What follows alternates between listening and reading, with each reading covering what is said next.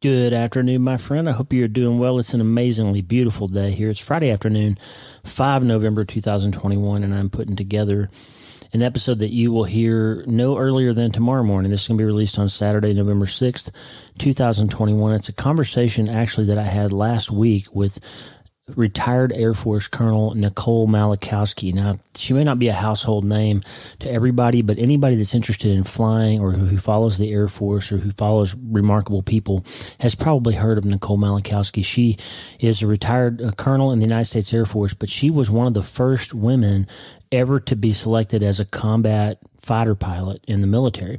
So for years, women weren't allowed to fly in the Air Force at all. And then for many years, they were allowed to fly, but not in any type of combat role and certainly never in fighter aircraft. And when she was a little girl, she had an experience where she saw the Air Force Thunderbirds perform, and she told her parents at age six or seven that she was going to be a fighter pilot someday. And at the time, not only were women not allowed to fly combat aircraft, but women were not allowed in the military demonstration teams either. So the the two aspects of her dream were impossible and against the law at the time that she came up with those ideas in her heart. Well, she's got an inspiring story about how she not only accomplished all those goals, but went on to become a decorated pilot, squadron commander, com- uh, has 188 combat hours in Iraqi Freedom and Operation Deliberate Force. She flew the F 15E Strike Eagle, which I still think is one of the coolest airplanes ever made. And she's got over 2,300 flight hours in six different Air Force aircraft from the T 3 all the way up to the F 16. She did make it as the first Thunderbird pilot. She's going to tell you that story. But the reason I have her on not just because she was a Thunderbird pilot, not just because she was one of the first women to ever become fighter pilots in the Air Force, but because she has some other remarkable aspects of her story right at the peak of her career. And I'm talking about after she was in the Thunderbirds, after she was a squadron commander, she was actually selected to go to the White House and served on uh, some teams there, advising the First Lady and uh, even Jill Biden at one point, and was just having kind of the apex of her career when she was struck down by an incredible challenge that actually turned out to be life threatening. And her response to that is the reason I invited her here. Today, Nicole Malachowski is a worldwide renowned public speaker, advocate for her uh, situation that she went through. I'll let her tell you about that. But she basically has turned her adversity into a strength, and she's now one of the leading experts and uh, inspiring figures in the world at raising funds and raising awareness for tick-borne illnesses. And so she just has this remarkable story. It was a great conversation. She's a lot of fun to talk to. Lisa and I enjoyed very much an opportunity to meet her and speak with her. Nicole Malachowski lives in Colorado with her husband Paul, who's also retired uh, from the Air Force. He was a weapons systems officer uh, for F-15s as well, and they have two twin 11-year-olds, Nora and Garrick. And I'm excited to bring you today Nicole Malachowski. Now, the most important aspect of her story is that she did something that I'm always telling you to do. When she was at the height of adversity, she figured out what she needed to do, and she started today. Hey, I'm so glad to have you listening today. It's season three of the Dr. Lee Warren podcast. I'm Dr. Lee Warren. I live in Nebraska in the United States of America with my incredibly beautiful and brilliant wife, Lisa Warren, my better half in every way. She's my better two thirds. My father-in-law, Tata, and the super pups, Harvey and Lewis. I'm a neurosurgeon and an author, and I'm here to help you harness neuroscience, the power of your brain, faith, the power of your spirit, and good old common sense to help you lead a healthier, better, happier life. Listen, friend, you can't change your life until you change your mind, and I'm here to help you learn the art of self brain surgery to get that done. You can get the show notes and more on my website at wleewarrenmd.com. And if you like the show, please subscribe. You're doing a great job doing that as the podcast has now exceeded 30,000 downloads a month. Please subscribe, share it with your friends. Let's help this thing get far and wide. I'm Dr. Lee Warren here to help you change your mind so you can change your life. We got Colonel Nicole Malachowski, former United States Air Force fighter pilot and Air Force Thunderbird. Let's get after it. Hey, friend, we're back, and I'm so excited to share my new friend with you. Um, I've got Nicole Malachowski, a Colonel Nicole Malachowski, with me today. Hey, Nicole, how are you? I am wonderful. Thanks for having me on, Lee. Yeah, I'm so excited. Um, of course, anybody that knows me or spends very much time around me knows that I'm kind of a, um, a, fighter pilot geek. So I never had the eyes to fly. Both both my parents were private pilots, and I grew up in Cessnas and Citabrias and, and flying, and always thought I was going to fly. And, and, I got in the Air Force, and, and I, I couldn't fly because I had bad eyes. So um, I guess they can fix all that now. But but you are an Air Force fighter pilot. That's remarkable. Well, thank you. Well, my excuse is my brain isn't big enough to be a neurosurgeon. So call it even, okay? yeah. so how did how, how, did a how did a little girl growing up in the United States um, decide that you wanted to become a fighter pilot? How did that come about? Well, you know, you said something really interesting in that question, which is growing up in the United States, and it's always a reminder to me that I really won the lottery being born in this country, and I think I won the lottery, especially as a woman being born in this country, because we have a lot of opportunities that women around the world don't actually have. And, you know, we see that play out today in Afghanistan and such. So I want to yep. acknowledge how lucky I am to have been born in the United States.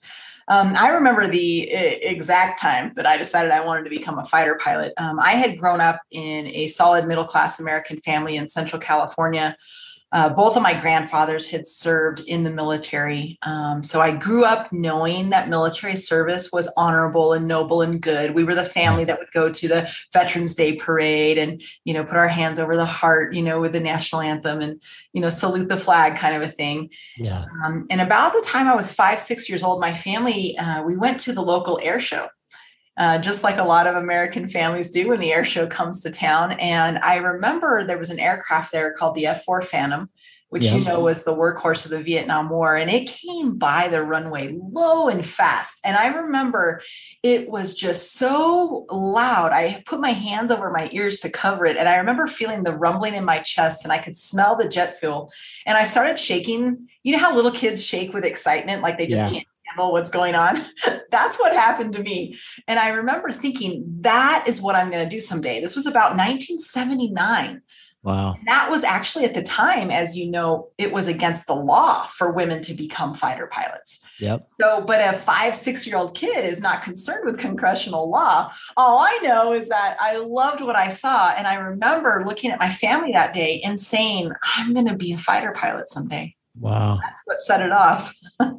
Wow. And you pursued that. And so, um, so did you ever waver? Like, was it, did, did somebody tell you, Hey, you can't do that. You're a girl that, that can't happen. Like, sure. I mean, well, I mean, you know, it, that of course definitely happened. Some of it was just cultural paradigms and unconscious mm-hmm. bias, but some of it was fact, right? I mean, at the time, factually speaking, women were not uh, allowed by law in order to fly fighters. I, I remember a very distinct moment in sixth grade um, our sixth grade teacher had asked each of us kids to come into school. And on Fridays, one person was going to stand up and talk about what they wanted to become when they, they grew up and how they were going to get there. That was our assignment.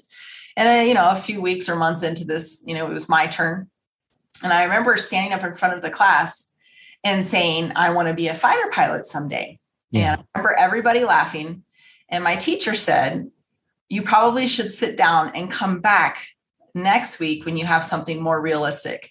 Wow. That hurt. And I remember going home and just crying tears, thinking to myself, well, maybe this is a dream that can't, you know, can't happen. Now, to be honest, I don't think my teacher was trying to be rude or mean. I think it could have been handled a lot more delicately. However, mm-hmm. it was factual what he was saying because it was still against the law for women to be fighter pilots um, the beauty of that is in that moment of tears and, and feeling like maybe this dream can't come true. My family ended up going on a vacation to Washington, D.C. And we ended up at the Smithsonian Air and Space Museum. And there in a far, dusty corner, dark, dusty corner, hidden away from everything else, was a small little exhibit on the WASP, the Women Air Force Service Pilots of World War II, America's first women military aviators. And when I saw their history and I learned about that history, I said, enough. If they can fly for their country, then I'm going to fly for my country too. Yeah. That's amazing. You know, the, uh, I'm writing my new book now, and, and the chapter I just finished this morning is about the synapses, which are the connections between nerve cells in our body. And, and synapses form from any sort of trauma, any sort of difficult situation. You make a synapse that helps you remember the pain associated with that. So you don't burn your hand every time you touch a stove. You know you, you stop doing things that hurt. And it would have been real easy for you to make a connection in your brain based on that authoritarian figure of a teacher telling you you couldn't do something. So it's pretty remarkable that you pushed through that and, and you kept with your dream. I love that story uh, it's resilience, right? It's it's this holding on to your idea, that your passion, your faith, and, and, pressing through, and not letting anything deter you. That's a that's a good character trait. Well, you know, great. I'm 47 years old, and I can still feel that F4 flying by. I can wow. still smell that jet fuel, and even when that teacher said that when I was 12 years old, I could still sense that F4 phantom. And I kept thinking that this is my destiny. This is what I'm going to do. Wow. That's amazing. So, um, you, you went to high school and did you, did you fly privately before you were in the Air Force? Yeah, I sure did. I took my first flying lesson when I was 12 years old, believe it or not. Wow. I soloed my first aircraft when I was 16 years old out at North Las Vegas Airport because by that time we were living in Las Vegas, Nevada. Um, I was very lucky, and I give great credit uh, to being able to serve as a cadet in both the Air Force Junior ROTC at my high school, as well as the Civil Air Patrol programs in California, as well as in Nevada. And being in those programs, especially in those formative years where it's easy to get distracted, right, as teenager, yeah. um, I was able to stay focused uh, by surrounding myself with people who were like minded, by surrounding myself with people who believed in my dream as much as I did. Yeah. Um, and so that's how I stayed focused through those tough teenage years. Remarkable. And then you got um, into the Air Force. And what was the process like? Were you were you into the Air Force as a pilot already? Was that your job from the time you signed up, or do you have to get selected for pilot training, or how does that work? Well, the very first thing I needed to do was to get a college degree and get commissioned. Officer in the military because those two things are required in order to compete to be a pilot. So I had applied um, to the Air Force Academy. And I'm happy to say, and I still can remember that moment too. I was uh, given early admission, like prior to Christmas, my senior year of high school. Wow um, it's kind of fun to go through your senior year of high school knowing you already have your, your college acceptance there. I think it was October or November.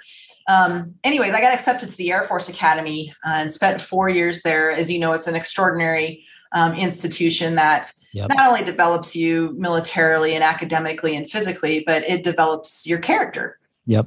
Um, and so I was lucky enough to spend four years there and receive my commission. And during that time, I competed for a pilot slot. And um, again, I think timing, luck, and circumstance. I always tell people I'm a product of TLC, timing, luck, and circumstance.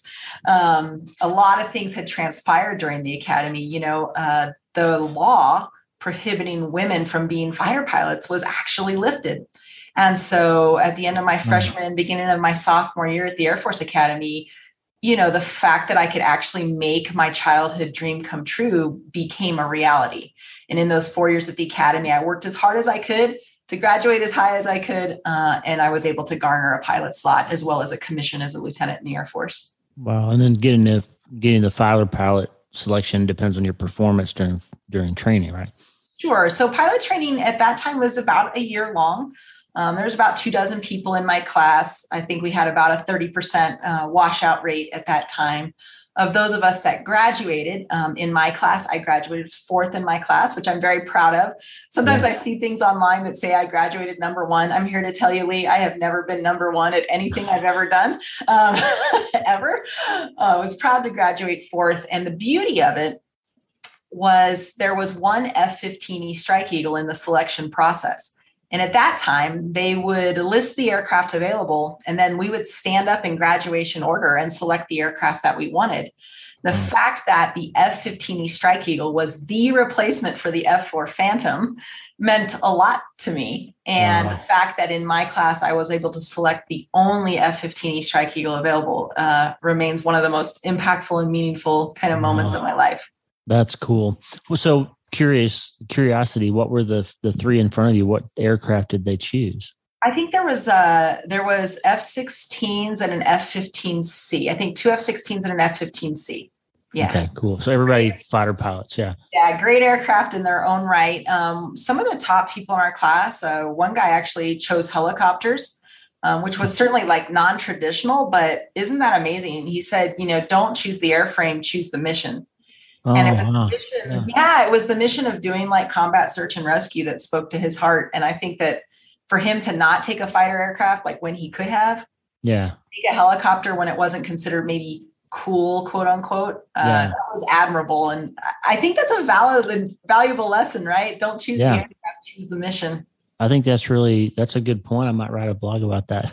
like that. you had a post, by the way. Your Instagram channel is is worth following. Uh, I'll put a link in the show notes. So you have a lot of really inspirational posts and uh, and good photographs and some cool stuff. Um, but you had a post about that about how you never finished first in your mm-hmm. life. And tell us a little bit about what you wrote in that post.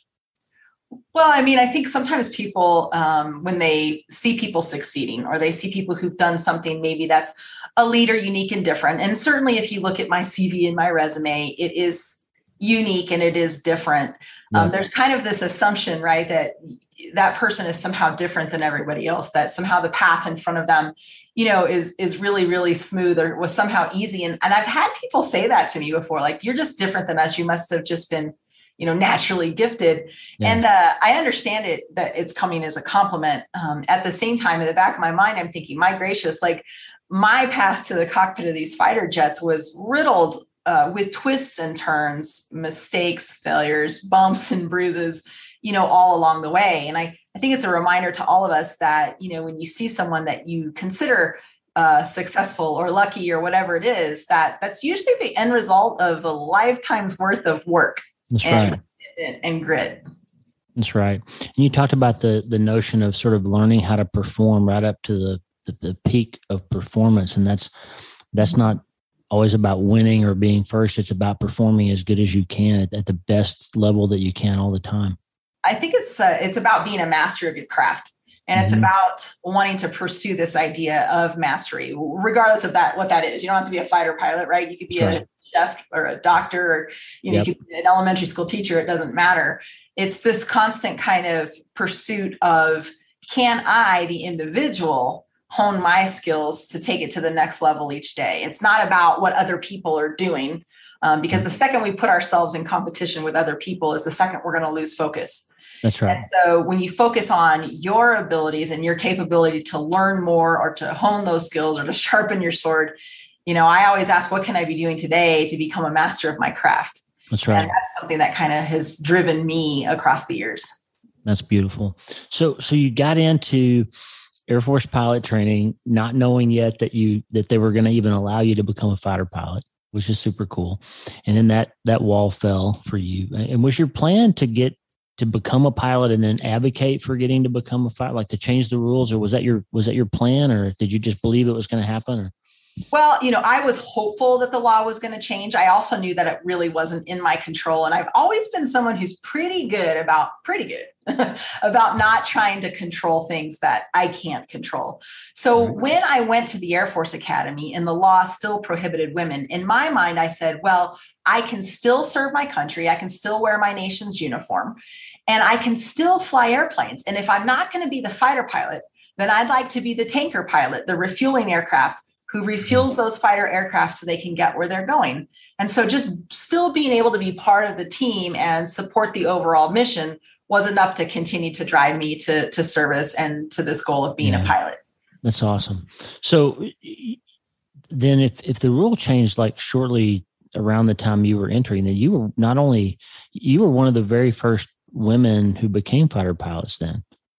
Yes, that's true. I was within that kind of first tranche of women that became fighter pilots. A, a huge shout out to the original woman fighter pilot, um, a mentor of mine by the name of Jeannie Flynn, who mm-hmm. certainly um, blazed trails that the rest of us, you know, could certainly follow in her footsteps. And it, it, meant a lot to have, you know, a few of those women uh, like Dawn Dunlop, Jeannie Flynn, who came before me. It was inspirational. It kept me going. Um, but yeah, I was kind of in that first group, at least within the United States Air Force. And what year were you? Um, do you remember what year were you commissioned?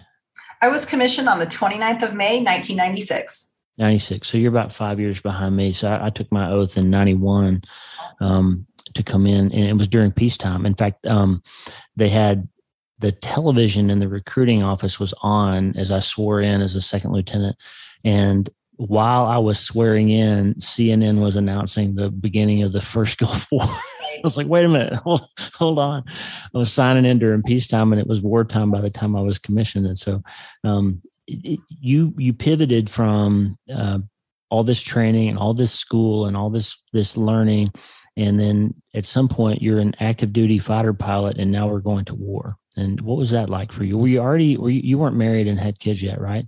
I wasn't married yet. So my very first fighter squadron, I arrived in late 1998 or early 1999, forgive me. Um, and it was at RAF Lakenheath, which was just outside of Cambridge, England. Uh, it was the 492nd Fighter Squadron. I was a first lieutenant, you know, wet around the ears as far as I was as a fighter pilot.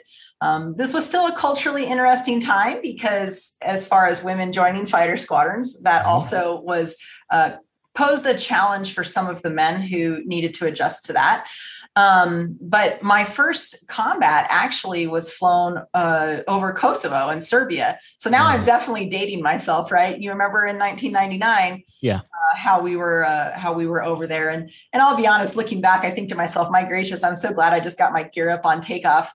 Um, but I certainly learned a lot, right? I, I gained confidence, I gained an awareness of what it means, you know, to fly in a combat mission. I was always crewed with a more experienced person. So being mm-hmm. able to gain from their wisdom and how they could add common confidence to the sortie when I was just kind of this young pilot trying to figure it all out was was pretty spectacular.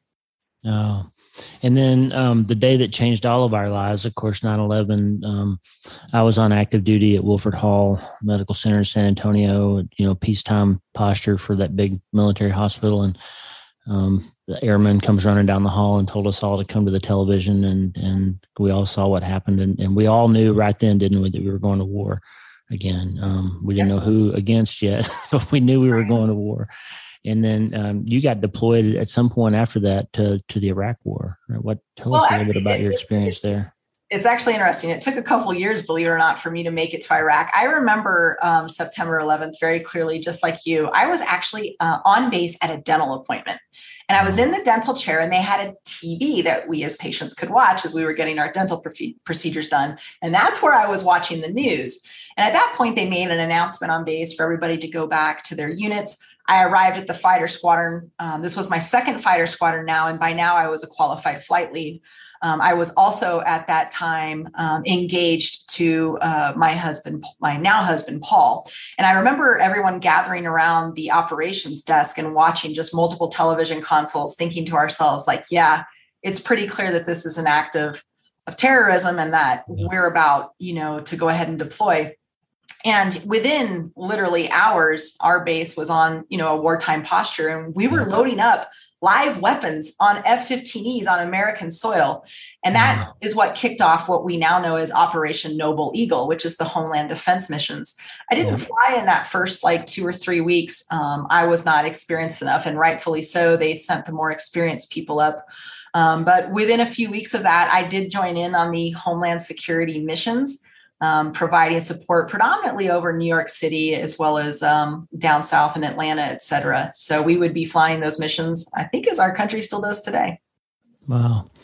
And then, so at some point, you, I don't know, do you apply to Thunderbird to become a Thunderbird or they select you or how does that work? Oh yeah, it's, it's quite a process. So after that kind of September 11 experience, um, our squadron did not get called to combat. I ended up on a separate assignment with the Second Infantry Division in the Army um, on the DMZ in Korea. So I did that, and then I found my way back to RAF Lakenheath for now my third fighter squadron tour. Mm-hmm. And this is where um, the Thunderbird kind of experience comes in. Um, I had found myself, you know, mid career with every single qualification and certification you could have as a frontline mm-hmm. F 15E fighter pilot. And every year, the Air Force sends out an email. It says the exact same thing at the exact same time every year. It says we're looking for three new Thunderbird pilots. Uh, it's a two-year assignment. There's six Thunderbird pilots that fly in the demonstration. So three mm-hmm. pilots are new, three pilots are on their second year. It says we're looking for three new pilots. Here's the qualifications. Here's the application. And you know, even though I had thought about being a Thunderbird since I was a kid, and we might want to talk about that for a second. Every year, I did the same darn thing: delete, delete, delete. Because in my mind, like other people become Thunderbird pilots, you know, mm-hmm. not you. I told you I grew up in Las Vegas, Nevada, which you know is home to Nellis Air Force Base, yep. which you know is home to the Air Force Thunderbird. So it wasn't uncommon for me in high school to take my brown bag lunch out onto the football field, eat my peanut butter and jelly sandwich, and watch the Thunderbirds fly overhead. Wow. Yeah. You know, but I knew that it was hard enough to become a fighter pilot. It was even harder, statistically speaking, to be one of six of 12,000 active duty pilots to be a Thunderbird. So yeah. I always deleted this email.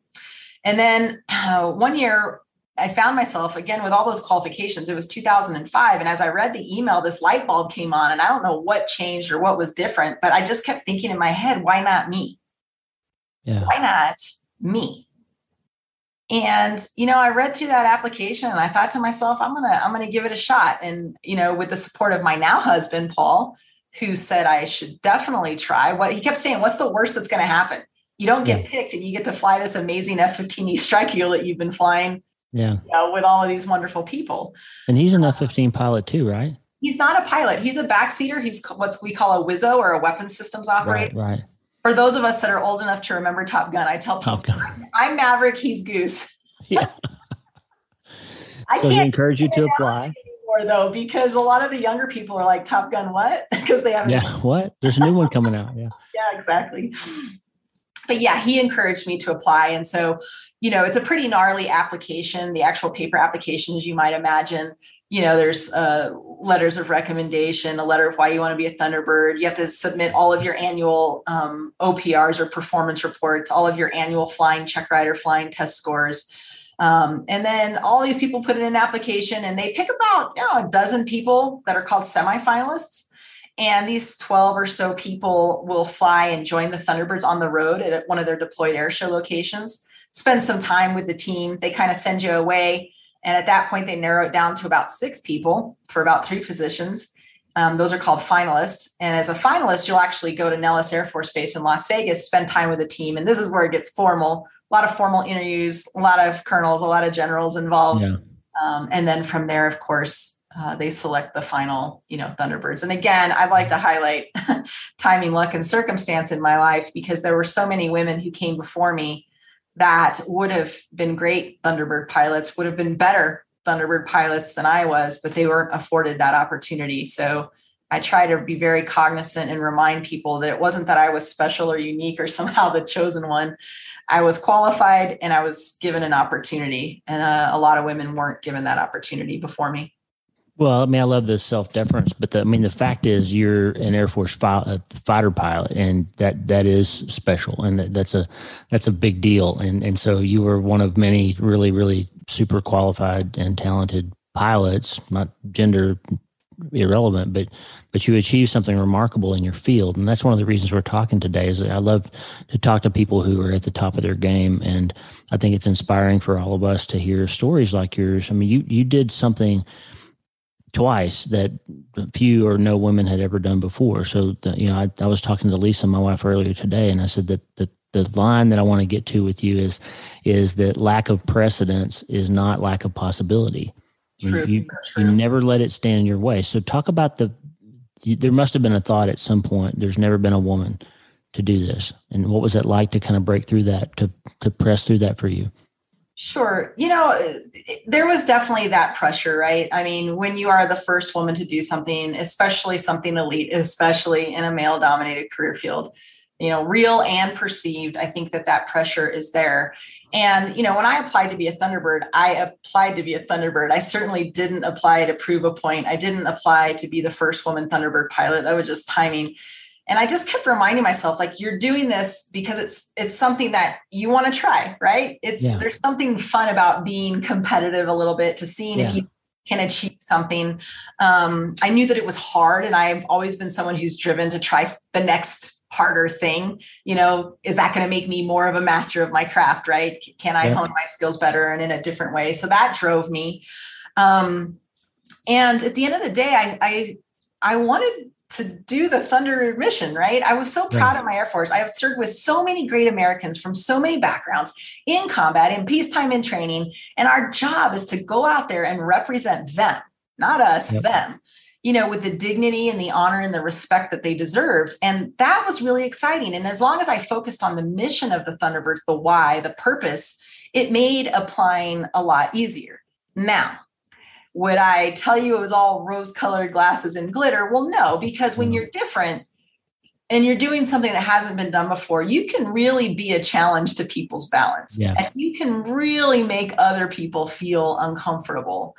Um, and that certainly happened in my, you know, in my case. And again, I focused on this idea that I'm not doing this to prove a point. If you're uncomfortable, I don't know that it's my responsibility to make you comfortable, but it is my responsibility to live up to the Thunderbird standards and to do a good job. People ask me, like, oh, how are the guys? Oh, it must have been so hard. Here's the funny part the five gentlemen that I flew with um, are friends to this day of mine. if I could have created a dream team in my imagination, it would not have been as good as the personalities and the people of character and skill that I flew with. And I am not pandering. These five guys were amazing. And they didn't make it hard on me because remember, Lee, they were my age. They right. never knew an Air Force without women fighter pilots in it. It was a non issue. That said, where I did have issues were very much generational, colonels and above right? They yeah, still, yeah. I remember, I remember specifically one time someone told me, You're applying to be a Thunderbird, Nicole? I said, Sure. They said, quote, we just let you women become fighter pilots and now you want to take this, end quote. Oh. Right? oh my goodness.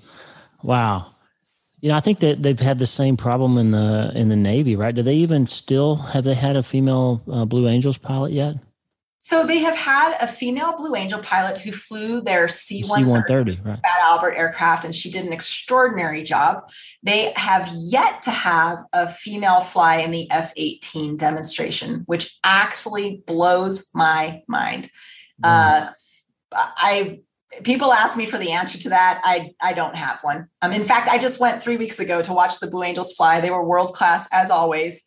Uh, my son wanted to go. He's obsessed with the Blue Angels, so that keeps me humbly. Um, they were extraordinary as always, but it reminded me again that here we are, you know, 16 years after I was selected, and the Navy still hasn't had a female in their F-18 demonstration, and I I don't know why. I don't. Wow, that's fascinating. So, it, it's funny to me. I look up in the sky and I see a jet go by. It doesn't have a pink contrail to tell me there's a, a female pilot, right? And I, I would, I just, it, it's amazing to me that that was ever an issue because you would think when you're talking about operating a machine like that, that's not dependent on your muscle mass or anything about your your body. It's about your brain and your heart and and the performance of the machine. So you um, you busted through that that glass ceiling so as it was and and you did a great job representing our country and um, check out her social media um, friends i'll put um, a link in the show notes to the instagram channel and there's some really fun uh, and inspiring stuff. And I want to just pivot for a minute because I told you about 30 minutes. We're already past that. So I appreciate you a little bit extra time, but you sure. got, uh, we could talk fun. for a long time. I could talk to you all day. yeah, it's a good, it's a good conversation, but something happened to you in the, in the prime of your career. You're, you're doing this job. And uh, before I forget one, one more little thing about that, becoming a Thunderbird pilot for you required you to switch aircraft too. I mean, you went from the F 15 Strike Eagle to the F 16, which is a single engine and was that a was that a big deal? Was it hard? Is it like changing from your pickup to your sedan? Is it, I mean, what's it like switching aircraft like that? I like to remind people, like I'm just a gal that grew up in Vegas, right? The fact that I got to fly two of the world's greatest fighter aircraft still blows yeah. my mind, right? What a privilege. Yeah. Um, you know, it's interesting. By the time that you have the experience and the hours needed to apply to be a Thunderbird, you know, it's pretty easy to transition between aircraft, right? Throttle means faster and slower, stick means climb or descend. Um, so there's a kind of a transition course. It's a Thunderbird transition course at Luke Air Force Base, and it's very few flights. I can't remember if it was like eight or nine flights, something really short like that.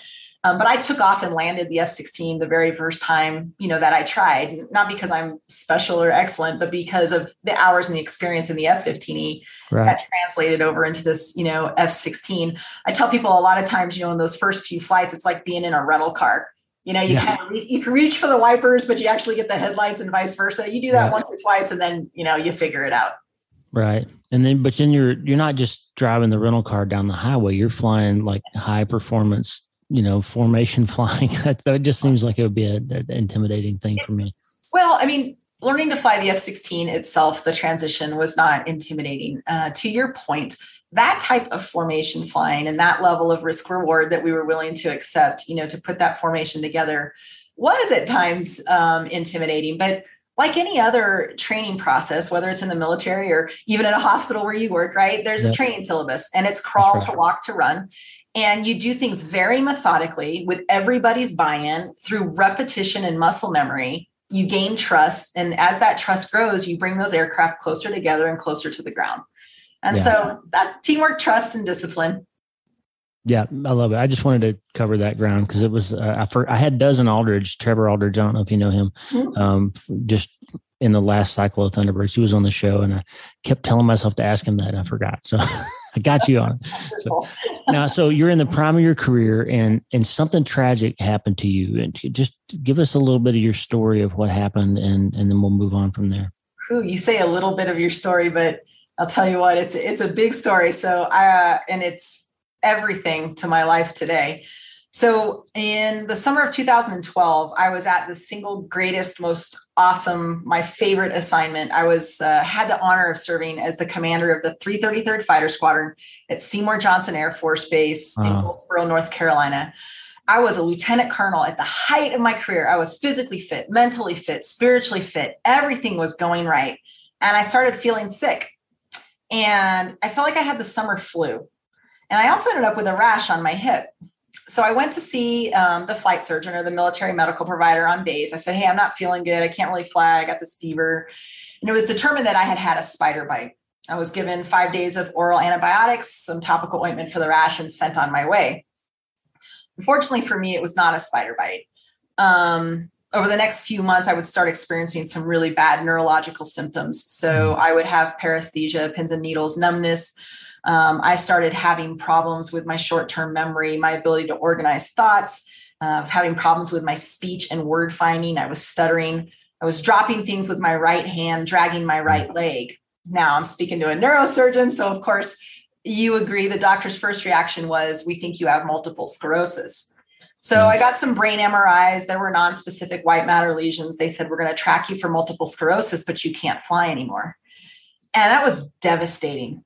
Yeah devastating because I'd wanted this since I was five years old. I'm now at the most important flying assignment in my career with a flying future in front of me as a colonel, you know, or higher. And all of a sudden it's taken away. And they said, Well, do you want to be medically retired or do you want to try to stay? I said, Well, even if I'm not flying, I want to stay because I want to lead airmen and I want to be a part of a team and I can still contribute. And so, rightfully so, I was grounded. Um, and they ended up sending me to Rhode Island for uh, another master's degree there at Naval War College, where 10 months later I pulled a tick off of my right thigh. At that point, all of my symptoms got really worse. Uh, at that point, they were able to diagnose me with Lyme disease, and I was treated with a month's worth of oral antibiotics. However, I did not get better. Over the next four years, my symptoms would wax and wane in a very confusing fashion for both doctors and patient alike. Yeah. The symptoms would flare each time they came, they'd get worse. At my very worst, my symptom list was 63 long. I wrote these out, Lee. I wrote them out to try to organize with my doctors and follow this because it didn't make any sense. Is 63 long, covering every system in my body, but nobody could figure it out. They still thought you're getting MS. You've been treated for your Lyme. It can't be that. You're getting MS oh, we just can't, you know, diagnose you yet because you haven't met all of the criteria. So in August of 2016, I was serving at the White House. In fact, I was like essentially the military advisor to Mrs. Michelle Obama and Dr. Jill Biden. Wow. My office was in the East Wing. I'm a full bird colonel. Life is good.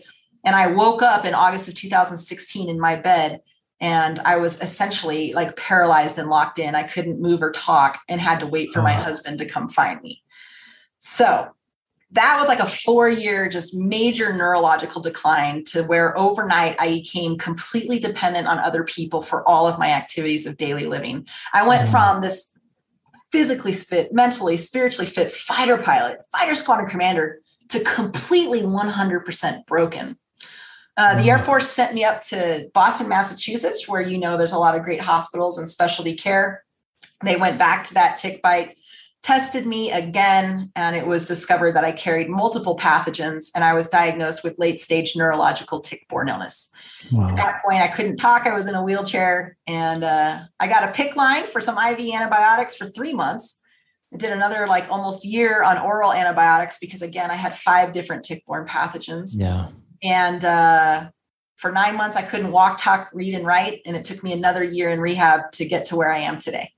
My goodness, and they just took forever to figure that out and it, it must have just emotionally just gutted you. Um, what did you do to get so you you just told us what you did to get your body back. Like what did you do to get your spirit back? Yeah you know I, I like to tell people doctors saved my life but like nurses saved my soul. There's something to be said about the nursing care that i got and the people who came into my home and demonstrated that level of compassion. The fact that I chose the right man when I married, you know, so many years prior that yeah. stood by me uh, believed me, that I had kids who understood, you know, or at least demonstrated even at the young age of five at that time a level of compassion that I'm still proud of them, you know, to this day. Yeah. Um, you know, it's interesting. I'm not going to sit here and pretend and, and you know to tell you or your audience that like I didn't have these moments where I felt sorry for myself and that I wanted to give up. You know, when you're a fighter pilot, type A in control, and you can't walk, talk, read, or write for nine months, it's hard. And yeah. it's hard all around. It's hard for everybody. And the day of my retirement came, the 29th of December, 2017. And I was bedridden and housebound. And there was no ceremony.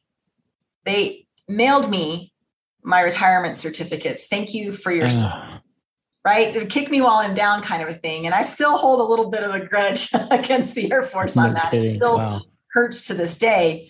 But as I laid there, I thought to myself, I had this like, you know, big moment like, who am I if I'm not wearing my nation's uniform? What is my contribution to society if I'm not a fighter pilot?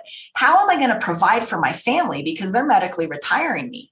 Yeah. Overnight, what is it that gives my life meaning?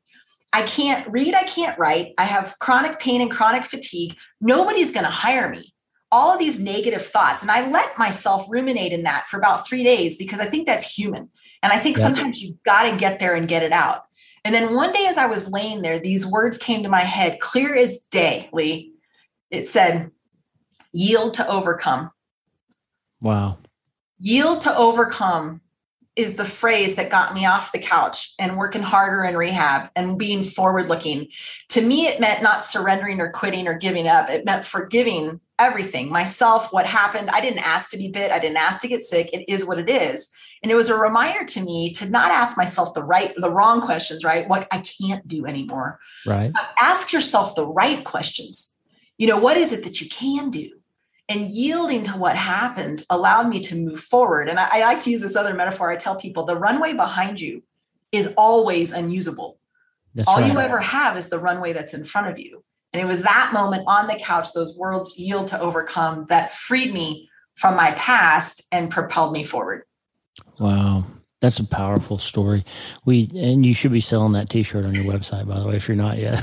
yield to overcome. You know what's funny? I'm actually working on a, a, shop on my website, and hopefully by Christmas we'll have some items out with phrases. Yeah, that needs to be on there. Um, the, the, runway behind you quote is good too, but it wouldn't fit on a t-shirt quite as well. And when we lost our son in 2013, it was it was that that thing where you can't fix that. Like there, there's no fixing it, and and you can't get it back. You can't change anything about what happened back there. And your only choice is you, you can just die or you can find a way to go forward, right? And that's what we had to do. And that's exactly what you just described, friend. Whatever you're facing right now, like you need to yield to it, not not to give up, but right. to just acknowledge it that yes, this, this thing really is happening, or yes, this thing really did happen. What now? Exactly. What now? And I, I sat there, you know, and as I went through rehab and as I tried, to you know, to reinvent myself to what I do, you know, today, I had this other like realization, like my whole life, right? Since I was a kid, I thought that my legacy, my impact, you know, who I was, was to be a fighter pilot, you know, was to maybe become a general officer someday. That was my my big contribution. As I sit now looking back, um, I realized that that was never my ending all along. I, I, became a fighter pilot, an officer, and a leader in order to hone the characteristic skills and traits I needed as a, you know, with a fighter pilot mindset, if you will, yeah. to survive my illness, to advocate for myself and also to do what I do now, which is to give voice to the voiceless. All those other late stage tick borne illness patients who are laying on a couch right now who literally can't speak. My whole illness, my whole my whole career, everything is culminating in this moment because I have more of an impact now positively on people on at a grander scale more quickly than if I had ever stayed in the Air Force. I'm right where I'm supposed to be. That's right. That's amazing. So you now you go around the world. You, you teach people about these these uh, rare diseases, and and you help people understand. You raise money and advocate, and really have a beautiful platform. Great website, NicoleMalachowski.com. Um, and you're just doing great work. And I think it's a it's a beautiful story of how you've overcome lots of lots of barriers and challenges in your life. And and uh, I just really appreciate you coming to talk to us about it for a few minutes today. Thank you so much for having me. And I'd be remiss if I didn't say my number one job in this world is being a mother to my 11 year old twins who, you know, as I was going through all of this hardship with my illness, you know, and I couldn't play with them and I couldn't talk with them, you know, sometimes I thought, what kind of mother am I? And then I realized, you know what, I'm a great mom because I'm teaching them resilience and they're yeah. watching what it means to be hopeful and have optimism and move forward. So being a wife and a mom, if that's all I have, that's everything I need. Amen. That's that's exactly right. The family is everything, right? They give us the the wind and the power to do what we do, and and uh, you got a, you just got a great story, and um, I'm really proud um, of, of, our country that raises up these people uh, like you who do such remarkable things, and and uh, I know you're not going to say it, but I mean, why are the Thunderbirds so much cooler than the Blue Angels? Like. you know what? Like I said, my son is obsessed with the Blue Angels, so he keeps me humble every day. I'll tell you what, both teams have an, you know a very very similar mission, and both of them max perform the aircraft that they fly. The yeah. difference you see in the air show are differences between aircraft capabilities. That's right. The pilots and the officers and enlisted behind it are the awesomeness that you'll find across our military. That's exactly right, and that's uh, last year when uh, they did those those team shows together across the country to raise people's hope. That was really cool. Like when when Very they flew cool. together all over the country. Very cool.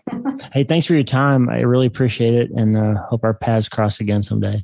Thank you very much for the opportunity, and I also want to thank you for your service. What a great conversation that was. Uh, such a great honor to get to talk to such a um, accomplished and inspiring American. And we are grateful that Nicole took the time to be with us today. Listen, friend, there's a lot to learn from her story. Number one, precedence is not the same as possibility. Just because something's never been done before doesn't mean you can't do it. She set her eyes on something. She decided to do it. She worked hard. She took advantage of the opportunities afforded her, and she did a great job. Please check out NicoleMalachowski.com. It's a great website. She's got all kinds of inspiring content there, and there's all kinds of videos and YouTube videos about her and, and talks that she's given. And her blog is very inspiring. She's got some great leadership ideas, and you should check it out. NicoleMalachowski.com. I'll put the link in the show notes. I'm always telling you to start today. This was a great example of somebody who did that. Even when she couldn't walk, couldn't feed herself, couldn't talk anymore, she fought through that illness, got back on her feet, you know, found a new way to, to advocate and lead, and she's inspiring people all over the world today. I'm excited to have brought you this great guest. Tomorrow, we got something even uh, additionally exciting, something fun for you tomorrow. And as always, my friend, start today. Hey, thanks for listening. The Dr. Lee Warren podcast is listener supported. Check out patreon.podbean.com slash Dr. Lee Warren. Patrons and partners get free books, transcripts, patron only monthly episodes, and more. And partners like you allow us to stay ad free and keep on growing around the world, 77 countries last month.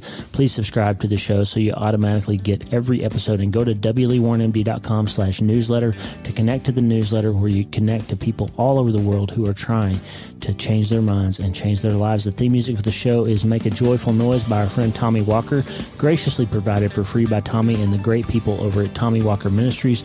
Get the music for free and consider their great work at TommyWalkerMinistries.org. That's TommyWalkerMinistries.org. And if you need prayer, please go to the prayer wall at wleewarrenmd.com slash prayer. When should you pray? Always. When should you give up? Never. That's Luke 18 1. Check out the prayer wall, wleewarrenmd.com slash prayer. Remember, friend, you can't change your life until you change your mind. Nicole Malachowski did it, and you can too, but you have to start today. I'm Dr. Lee Warren. I'll talk to you soon. God bless you. Have a great day.